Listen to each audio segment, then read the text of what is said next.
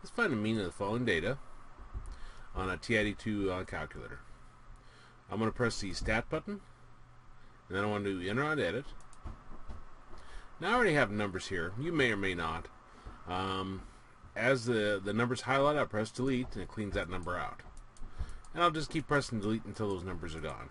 And even though I'm not going to use it, let me go ahead and clean out L2.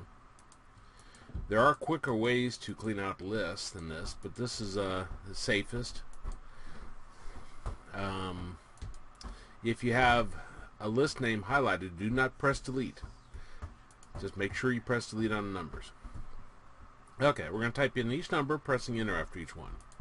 So I'll do 13, enter, 19, enter, 23, enter, 31, enter, 45, enter, 46, enter, 47, enter, 51, enter, and 53, enter. It's always a good idea to double check your numbers so you can use your up arrow keys to go and, and check the numbers you input.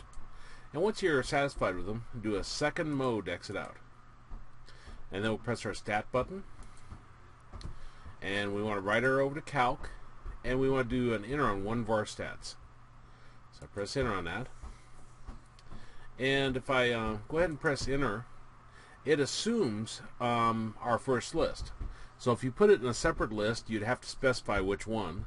And you see above you 1, 2, 3, 4, 5, 6, it says L1, L2, L3, L4, L5, and L6.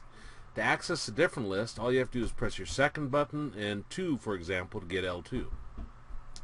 Anyway, the X bar, that's our sample mean. That's also your population mean. Same formula. So around at two decimal places, we'd have 36.44. And that's our mean.